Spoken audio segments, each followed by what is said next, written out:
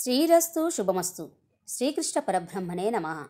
మన ప్రాచీనానికి స్వాగతం. నేను మీ శైలజ శ్రీనివాస్. శ్రీ గణేశాయ నమ. శ్రీ గురుభ్యో నమ.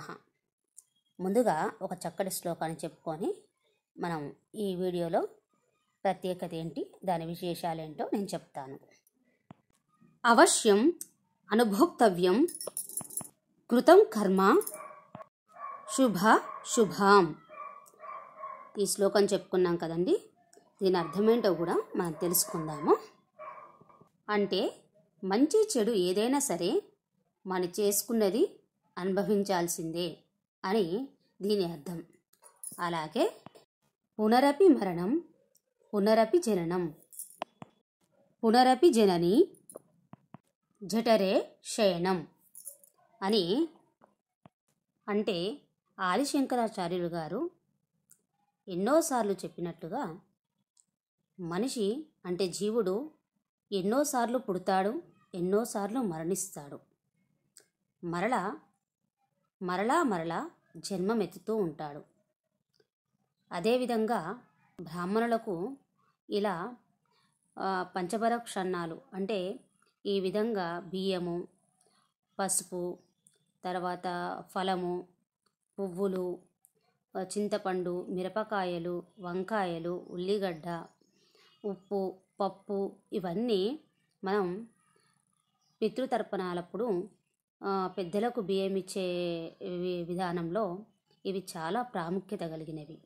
ఈ విధంగా పెద్దలకు మనము బియ్యం ఇవ్వడం వల్ల ఎన్నో లాభాలు ఉంటాయి. మనకు కానీ మన పిల్లలకు కానీ పెద్దలకు కానీ వారి ఆశిష్యులు మనపై ఎప్పటికీ ఉండాలి అని ఇలా మనం ప్రతి సంవత్సరం పెద్దలకు బియ్యం ఇస్తూ ఉంటాము. అయితే చాలామంది మరణించిన నెల తర్వాత బియ్యం ఇస్తారు. ఆ తర్వాత తొమ్మిది తొమ్మిదొద్దులకు తొమ్మిది కానీ పదకొండొద్దులకు కానీ బియ్యం ఇస్తారు. నెల నెల మాసికం కూడా చేస్తూ ఉంటారు.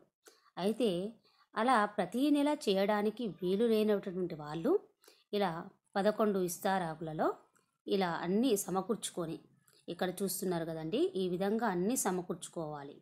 ఇలా సమకూర్చుకొని పదకొండు ఇస్తారాకులలో మనం బ్రాహ్మణునికి దానం చేయాలి. ఇలా చేయడం వల్ల మనకు కానీ మన పిల్లలకు కానీ చనిపోయిన వారికి కానీ ఎంతో మంచిది. వారి ఆశీస్సులు ఎప్పటికీ ఉంటాయి కాబట్టి ఈ విధంగా మనం చేస్తూ ఉంటాము. అలాగే ఇలా ఆకులు అంటే కూరగాయలు పండ్లు బియ్యము ప్రతి ఒక్కటి అంటే తనకు ఆ బ్రాహ్మణునికి ఇచ్చే ఈ ఏవైతే బియ్యం ఇస్తామో అందులో తనకు భోజనానికి సరిపడా కూరగాయలు బియ్యము నూనె పసుపు అంటే వంటకు సరిపడా సామాగ్రిని ఈ విధంగా సమకూర్చుకొని ఒక్కొక్క ప్లేట్లో సమకూర్చుకొని ఈ విధంగా ఇవ్వాలి ఇది అందరికీ తెలిసినదే. కానీ కొంతమందికి ఏ విధంగా బియ్యం ఇవ్వాలి ఏ విధంగా పెద్దలకు చేయాలి ఏమేమి పెట్టాలి? అసలు బ్రాహ్మణుని ఏ విధంగా పిలవాలి? ఏ విధంగా ఇవ్వాలి? ఎవరు ఇవ్వాలి? అనే సందేహాలు చాలామందికి తెలియవు. కాబట్టి ఈ వీడియో నేను చేస్తున్నాను. చూడండి ఇక్కడ మనం. నేను చక్కగా ప్రతిదీ క్లుప్తంగా చూపెడుతున్నాను. ఈ విధంగానే పెద్దలకు బియ్యం ఇవ్వాలి తనకు వంటకు సరిపడా సామాగ్రిని ఒక ప్లేట్లో సమకూర్చుకొని అందులో ఇక్కడ మనకు ఆకులు లేవు కాబట్టి మనం నిజానికైతే చక్కటి పచ్చని చెట్టు నుంచి వెళ్ళి ఆకులు తీసుకొచ్చి ఇస్తారాకు లెక్క కుట్టి అప్పుడు ఇవ్వాలి. కానీ మనకు అవి అవైలబుల్గా అంటే అందుబాటులో లేకపోతే ఈ విధంగా కూడా మనం ఇస్తారాకులో పెట్టి కూడా ఇవ్వచ్చు. చూడండి మా నాన్నగారికి ఈ విధంగా మేము ఇస్తాము. ప్రతిసారి.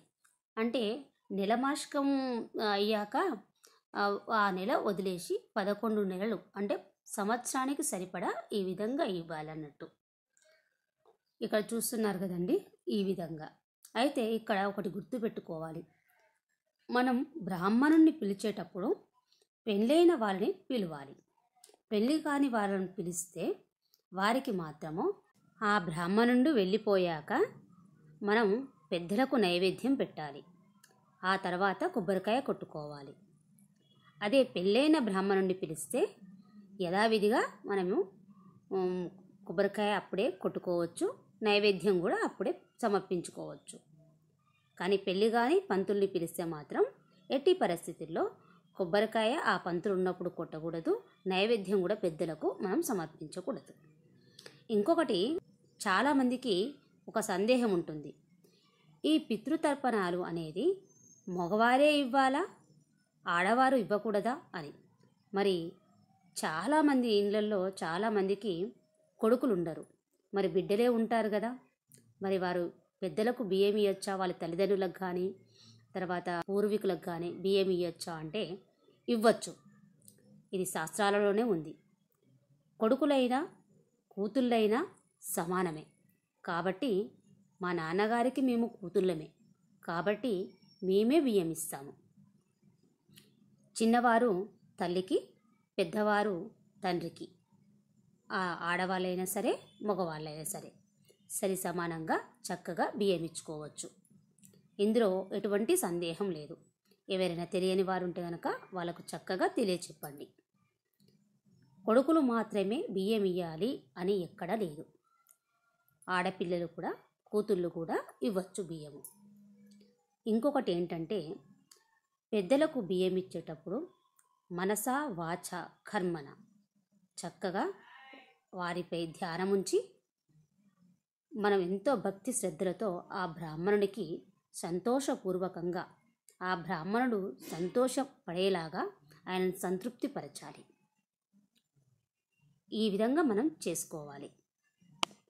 ఇక్కడ చూస్తున్నాం కదండి ఈ నల్ల నువ్వులతో తర్పణం చేశాక ఇవి మనం చక్కగా చెట్లకు మాత్రమే పోయాలి. తెలుసుకుందాం కదండి పితృతర్పణాల గురించి. ఈ వీడియో మీకు నచ్చినట్లయితే లైక్ చేయండి షేర్ చేయండి సబ్స్క్రైబ్ చేయండి. మరియు గంట సింబల్ నొక్కండి. ఇలాంటి చక్కటి వీడియోలు ఎన్నో మీ ముందుకు తీసుకొచ్చేవి మీ సందేహాలు అన్నీ నివృత్తి చేస్తాను నేను. మీరు మాత్రం ఈ వీడియోను అందరికీ పంపించండి. స్వస్తి. మీ శైలజ శ్రీనివాస్.